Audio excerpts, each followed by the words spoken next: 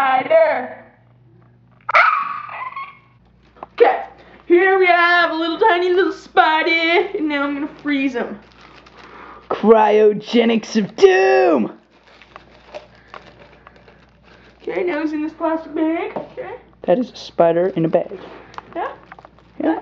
Let's follow we're Jordan. Here. Now we're gonna go over here. Turn on the light. It's gonna be our uh now I don't exactly know what's gonna happen. We should leave him a little air hole. no, just seal him off. He'll crawl out of the little hole. Okay, we're gonna freeze him for two minutes, okay?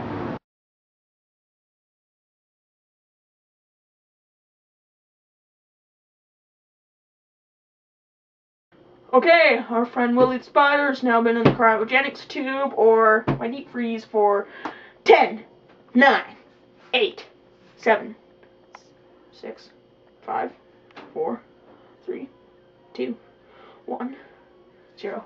It's time to remove our friend Jimmy. Okay, see? He appears to be dead. Okay, appearing to be dead.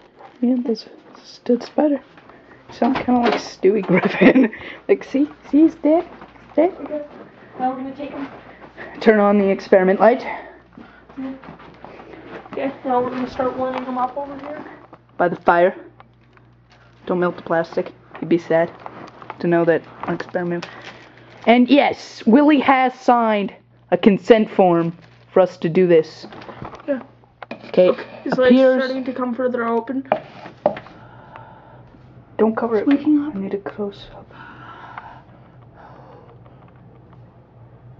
He's waking up. He's waking up. It worked. He's alive. The first spider cryogenics. We're scientists.